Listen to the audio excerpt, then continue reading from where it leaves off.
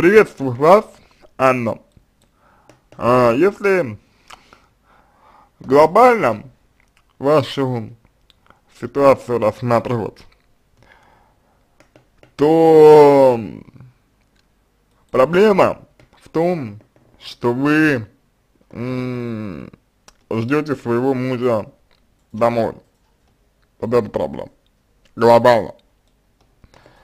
То есть э, проблема в том, что вы, э, условно говоря, очень зависимы от своего мужа. Проблема в том, что вы зависите от него, и э, проблема в том, что вы, ну, кроме вот, собственно, мужа и своих детей, да, кроме мужа и э, семьи, вы в общем-то, ничего для себя не видите.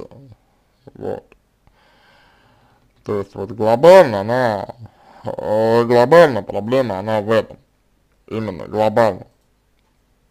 Знаете, какая штука. Вот. Вот вы говорите, что он там, ну, значит, э, ну, заливает алкоголем, да, омывают тело, как вы говорите, омывают тело алкогольными напитками. Ну, вот. А, и пропадает в гараже. Вот о, проблема заключается в том, что вы, в, отли в отличие от него, а вы, ну, целиком и полностью сконцентрированы на семье. И в течение, в течение вот 18 лет, да, вы почему-то ну, только и делаете, что как бы ждете его домой и э, там, условно говоря, просите и требуете и э, ждете от него э, того, что он вам, в принципе, ну, дать, вероятно, ну, вероятно, не способ, не способ. Не потому, что он там, знаете, вот, какой-то, ну, какой-то, какой-то плохой, да, не потому, что он там какой-то какой-то злой, а потому что человек, ну, просто вот не способен не способен дать вам то, что вы хотите, то, что вам нужно. нужно.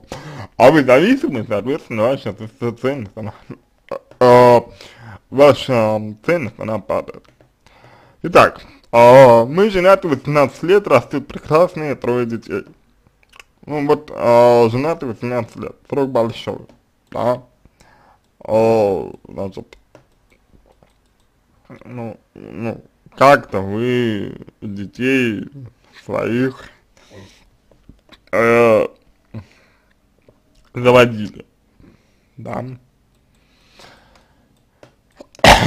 то есть дети у вас появились. Несмотря на то, что между вами и мужем, ну, мягко говоря, не все гладко. Почему дети появились так, в таком случае? Непонятно. Да, тем более вот, что там, ну, условно говоря, за 18 лет вы э, много раз ну, могли сказать своему мужу о том, что вас э, не устраивает, например, э, что вам не нравится, например. Ну вот, но вы ничего этого своему мужу не говорили. Вы ничего, ничего этого, вы своему, ничего этого вы мужу не сказали. Вот. И опять же, к вам вопрос, да, вопрос. Почему? То есть, ну, молча, молча, получается, терпел. Да, молча, получается, терпел это то, что он делал. Вот. А муж, он думает, что, ну, раз вы терпели, значит, все в порядке. Вот, значит, так и должно, должно быть, ну, вот, тем более, что дети а у вас трое, то есть, как бы, каждый раз вы подкрепляете, вот, одобряете поведение мужа тем, что соглашаетесь на детишек. А, дальше, с каждым годом отношения с мужем ухудшаются, но опять же, вы говорите про то, что отношения с мужем ухудшаются. А я хочу у вас спросить другое. Я хочу спросить у вас, вот отношения с мужем ухудшаются, а насколько вы своего мужа вообще понимаете, воспринимаете и принимаете таким, какой вот он, собственно говоря, есть. Да, да? Вот. Потому что вот есть у меня такое ощущение, что, ну, что вы вот не принимаете его, э, своего мужа, вы не принимаете таким, какой он э, есть. Вы не принимаете его. Вот есть у меня такое ощущение. До конца. То есть вы живете в некой такой вот иллюзии, живе, либо живете, либо жили э, в некой такой иллюзии, что муж, вот он должен, должен поменять, должен стать другим, вот он должен быть вот кем-то, кем-то иным, он и с детьми там должен разговаривать, общаться, и э, сексом заниматься с вами чаще, и дома времени больше проводить, и алкоголь не пить и прочее. Вот. Ну, так это же немножко другой, же другой человек, это, это вот совершенно очевидно, да, что это другой человек, другой, не такой, какой есть, какой есть на самом деле, да, то есть не такой человек, как, как вот, э, какой, ну, объективно вот присутствует, да, не такой человек. И вот как бы вопрос заключается в том, так а вы своего мужа вообще вот принимали а, таким, какой он есть или нет? или всегда у вас а, были, ну, какие-то вот ожидания по, по отношению, а, ну, там, к нему, да, вот. Дальше. А, здесь больше фокус на личности человека, не на его социальной позиции. А я, значит, перепробовал многие варианты и уже просто опускаются руки. Какие варианты вы перепробовали и какая была цель у этих вариантов? Пробовали ли вы человека, собственно говоря, понять? Пробовали ли вы позволить человеку быть собой, а себе собой? А, я не знаю, как быть. А, мыть совершенно не помогает мне по хозяйству, все дела по ходу в магазин на мне э, и воспитание детей. так, э, если муж э, вам не помогает э, по дому, если муж не помогает вам по дому, а, то очевидно, очевидно, совершенно, что он э, счит, э, счит, как бы считает, он считает, что вам это не нужно. Так он считает, что помощь вам, его, не нужна. Так он считает, что вы, что вы либо сами справитесь, то есть вы сильная, а, либо он считает, что, ну, а, что вы должны посправляться сами, сами. Знаете, и вот здесь идет такая, такая отсылочка, здесь идет такая отсылочка, потому что вы вот говорите, вы пишете, я смотрю на мужа, улыбаюсь ему в лицо, э, в лицо, а у самой, значит, на душе боль, кошки скребут и прочее, прочее, прочее.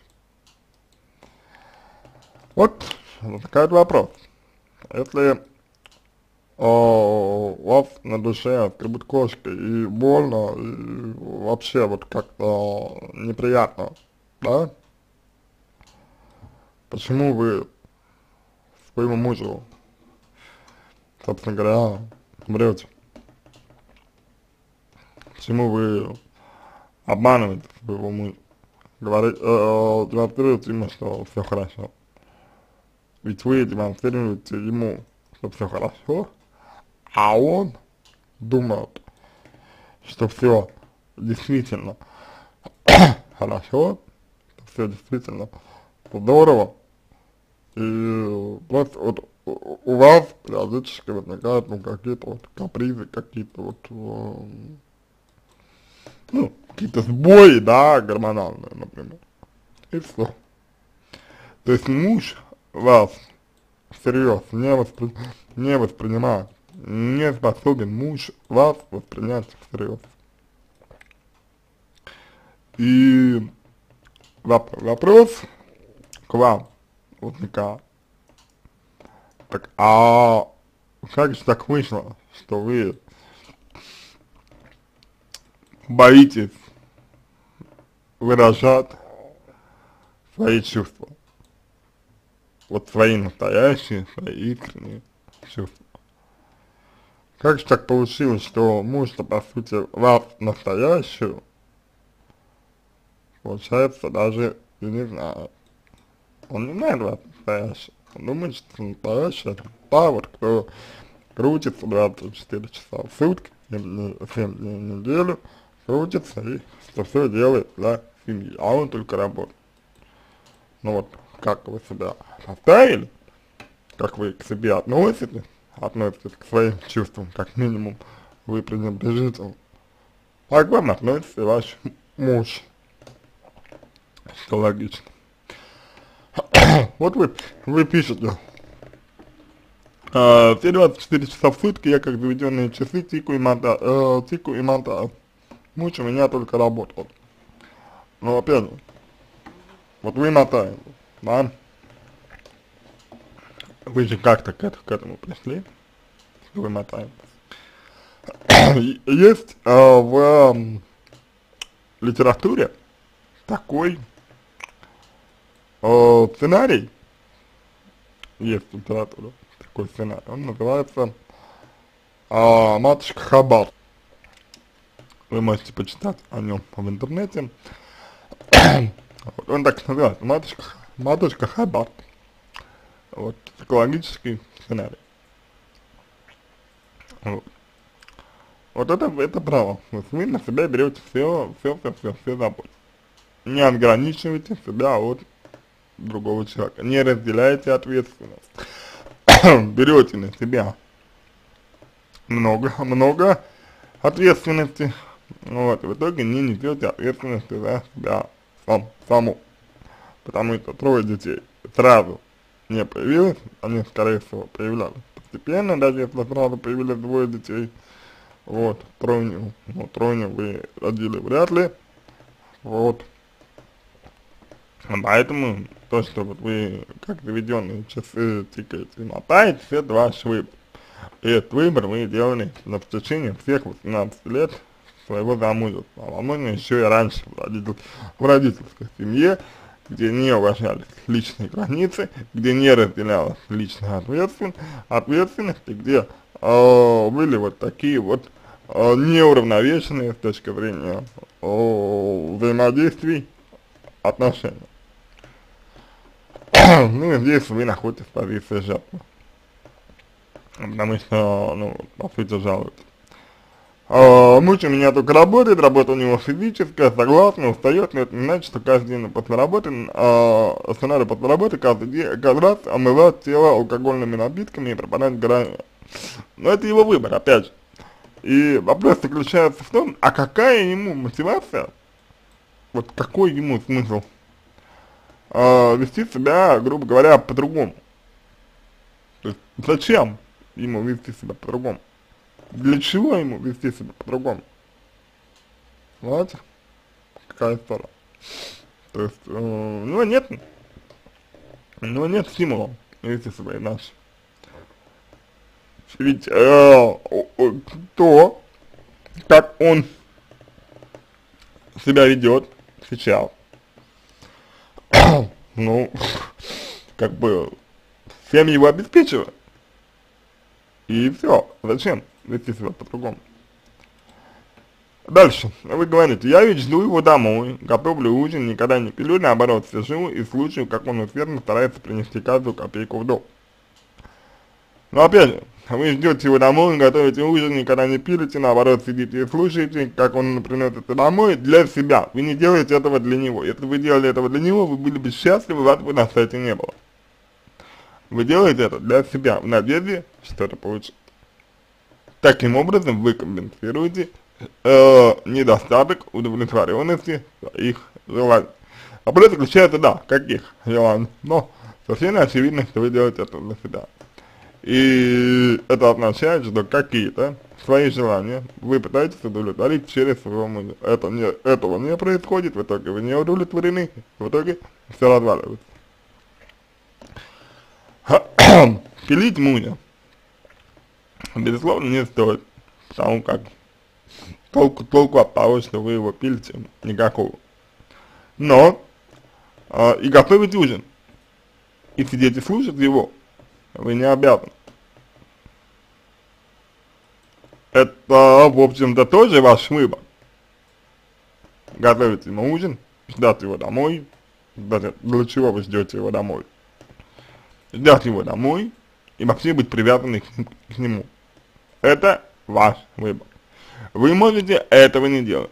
Вы так же свободны, как и ваш муж. Не свободны вы только у себя в голове, где вы считаете себя обязаны все это делать.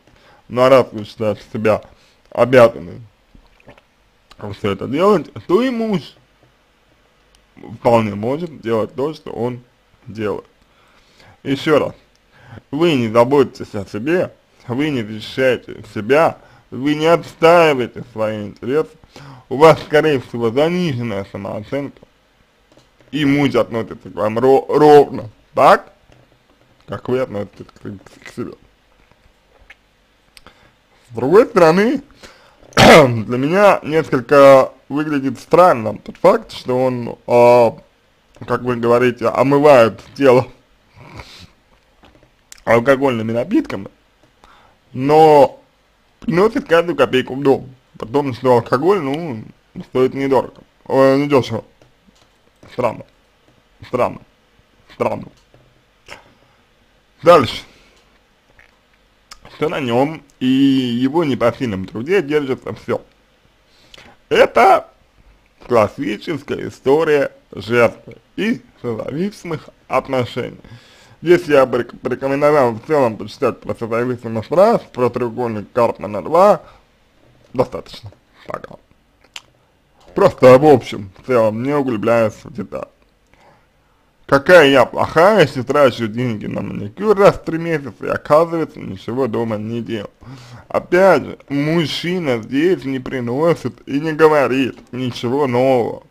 Он просто отражает вашу э, точку зрения о самой себе. Это вы думаете о себе примерно таким образом. Это вы считаете, что вы на самом деле ничего дома или недостаточно э, делаете того, что нужно дома именно, поэтому муж ваш к вам так относится. Вы даже э, свой э, вопрос задаете э, в таком ключе, что я упустила. И вы говорите, муж у меня. Хотя на самом деле муж не у вас. Муж сам по себе. Но вы говорите, у меня, что означает, что у вас отсутствуют личные границы. Понимаете? Какая штука. То есть, еще раз, мужчина ничего нового не говорит. От слова совсем. Он просто отражает то, что вы в глубине души думаете о самой себе все. Что вы плохая, что вы ничего не делаете дома, что вы недостойны, что вы делаете маникюр раз в три месяца. Не должны вы вообще ничего делать для себя. Так считаете вы, иначе бы вас не было бы в этой позиции, в этом положении, так считает ваш муж, потому что вы ему это транслируете. А возможно, выбирал такую женщину в такой вот позиции. Дальше. Секс. Да, как, да какой там секс? Инициатором всегда выступала я. Когда перестала, скорее устала выманивать, то сошло все на раз в три недели. И того уже с трудом получается расслабиться. Ну, э, насчет либидо, насчет сексуального влечения, здесь история, конечно, э, не совсем однозначная, потому что человек, он, ну, в данном случае, вот, мужчина, а он э, может действительно из-за физического труда э, сильного, э, ну, тяжелого физического труда, э, либидо это как раз э, не иметь или иметь, но крайне вот, э, э, ну, крайне э, такое, такое, за, ну, э, затухшее крайне либидо может, может иметь мужчина, к сожалению. Вот, поэтому здесь все зависит от ситуации, я не стал бы э, делать однозначных выводов, но очевидно, что при той э, психологической э, картинке, которую я описал, вы вряд ли являетесь для него секс привлекательный сексуальный партнер, особенно при условии, если, если при его э, достаточно авторитарной позиции вы выступаете инициатором секса. Uh, дальше, потому что все, что услышишь негативное в свой адрес, в свой адрес до, остается висеть в воздухе после. И это ваш выбор. Смотрите, вы э, вряд ли себе отдаете отчет в том, насколько деструктивно звучат ваши слова. Э, вот, ну, в данном контексте. Я поясню. Э, в чем дело? А, дело в том, что вы говорите, а, все, все негативно, что услышишь свой адрес.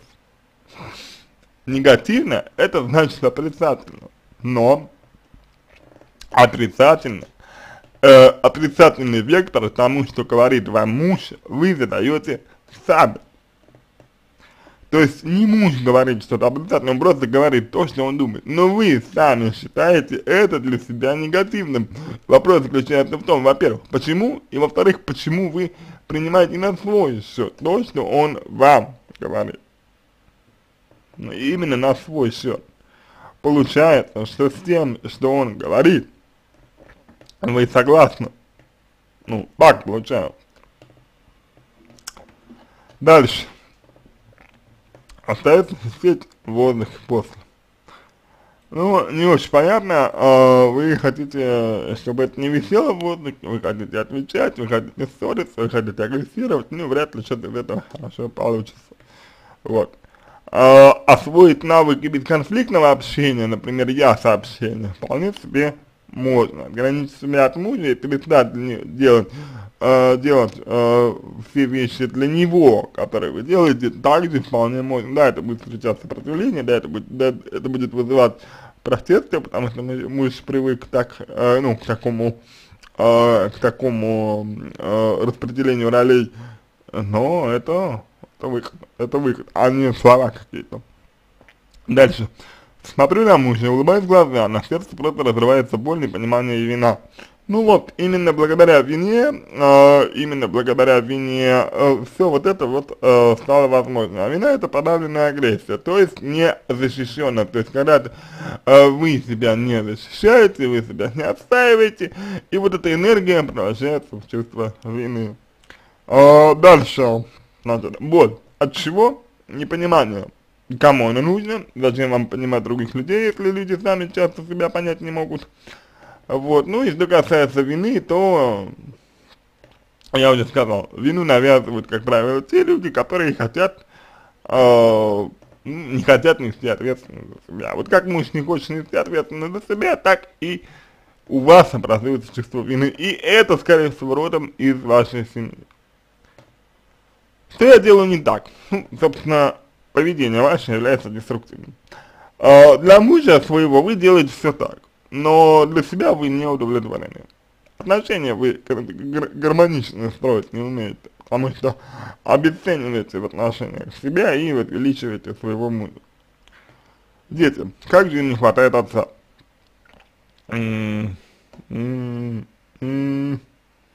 Вот знаете, вы детей а, здесь а, жалеете. Ничего хорошего в жалости нет. А, и, в общем-то, опять же вопрос, а какой смысл, какая мотивация, а, какая мотивация мужа заниматься с детьми, если есть вы, если вы все сделаете? Зачем ему что-то делать с детьми? Непонятно. Как непонятно и то, зачем выражали троих детей, условно, троих детей. Если, как вы говорите, он вообще с ними никакого вот времени там не проводит и прочее, прочее, прочее. Непонятно. Он с ними не общается, а должен. Он э, не спрашивает, как у них день прошел, а должен, как в школе дела а должен, он не знает, что такое сделать уроки вместе или выйти с младшим ребенком погулять, а должен, а может, откуда у вас такие требования к, к, мужу, если он никогда, судя по всему, так не делал. И самое главное, ну если он так не делал со старшими, например, детьми, со старшим ребенком или старшими детьми, младшего-то вы зачем заводили тогда? непонятно. У нас нет совместных семейных выходных, так как выходные посвящены работе. Если не работе, то его мать. Но опять же, опять же, это его выбор. Где вы? Где ваш выбор? Вашего выбора нет. Сложно, что именно? Обидно. Что именно? Понимаете, обидно обида это ожидание. Вот здесь вы ведете себя, э, по сути, так же, как, э, скорее всего, вели себя некоторые ваши родственники, э, потому как вместо того, чтобы заявить о себе, вместо того, чтобы начать отстаивать свои интересы, вам обидно. То есть вы считаете, что муж должен вести себя по-другому. Вы считаете, что муж должен как-то иначе действовать, что он должен не работе время посвящать и не матери своей, а вам. Но вы для того, чтобы он это делал, не делаете ничего, кроме того, что работаете служанкой. Ну и периодически секс. Просто. Что я упустил? Ну, упустили вы свою самооценку. Где я упустил момент? Да с самого начала, я полагаю. Ну, надо, конечно, анализировать ваши, ваши отношения и воссоздавать их, их историю, но я предполагаю, что где-то с самого начала. А если честно, то и еще до начала отношений уже все было там предопределено, скорее всего. Когда я начинаю с мужем разговаривать о том, что мне не нравится, ну, на штыки, повышает голос и делает меня виноватым. Ну, во-первых, э, то, что он воспринимает штыки, это нормально, э, человек, э, человек защищает э, свою зону комфорта, то, что повышает голос, агрессия, защита, тоже нормально, а вот то, что он делает вас виноватым, нет, это опять перекладывание ответственности, потому что никто не, не может сделать вас виноватой, кроме вас самой. То есть, только если вы сами считаете себя виноватой, только если вы сами сомневаетесь в, то, в, то, в том, насколько правильно вы делаете э, разговаривая там с мужем, например, о чем-либо, только в этом э, случае вы будете чувствовать вину. И, собственно, все. Собственно, все. Больше вину, больше виноватой э, вас, э, собственно, сделать вообще нереально. Он не умеет слушать, слышать. Так, а он умел когда-нибудь, что вы вот, ну, вот, ну, предъявляете претензии ему? Была ли у него когда-нибудь мотивация вас слышать, слышать? Есть ли у него мотивация сейчас вас слышать? Я что-то сильно сомневаюсь. Помогите, пожалуйста, посоветуйте, как быть в такой ситуации. Помочь можно, посоветовать навряд ли. Э, помочь псих, психотерапия, работа сперва с вами, потом и, и, и с мужем тоже. Ну, то есть с вами об, обоим. Я хочу спасти наш брак и нормальную здоровую семью жить, согласие и понимание. Для чего вам брак, для чего вам семья, Анна? Это первый вопрос, на который вам необходимо найти ответы, потому что, извините, э, желая спасти, желая спасти брак, вы игнорируете, э, э, вы игнорируете самого человека, то есть вы, вам, вот, вот говоря, я хочу спасти э, брак, да, вот говоря, я хочу спасти брак, э, вы же, по сути дела, э, говорите, что мне плевать э, вообще на э, личность своего мужа. Я хочу только, чтобы он был вот э, таким идеальным мужем, да, и все. Я хочу, чтобы он был идеальным мужем. Э, мне остальное не нужно. То есть мне не нужен, не, ну, не нужна личность рядом с тобой, мне, не, мне ничего не нужно, мне нужна только семья и брак. Вот. Вы имеете семью, и вы имеете брак, у вас это есть. Ну да, да, да, да, да, вы недовольны тем, что вы имеете. Но брак и семья у вас есть. Это классическое взаимоотношение жены и мужа в условиях, а, ну вот, в условиях, скажем так, российских реалий, в условиях славянских традиций. Вот. О, да. Да. О, да. О, все верно, все, все так, все так. О, и как бы вот, вот, вот, вот как вы э, к себе э, относитесь, как вы себя воспри воспринимаете, ну, вот так вас и воспринимает муж. Как, какой вы видите себя женой, э, такой вам подстанет и, и муж. И, в общем-то, ну, было бы странно, если бы он был каким-то другим. Вот. Поэтому брак вам не надо сохранять, у вас нормальная, здоровая семья, где отстраненный строгий отец и мать, матушка хаб, Хабар. Вот. А вот если вы хотите именно э, именно личностные отношения, выстраивать. Если вы хотите именно, лич, именно лично, личностные отношения выстраивать. Вот этот момент, момент это уже совсем, совсем, совсем другая история. Понимаете? Вот это совсем другая история.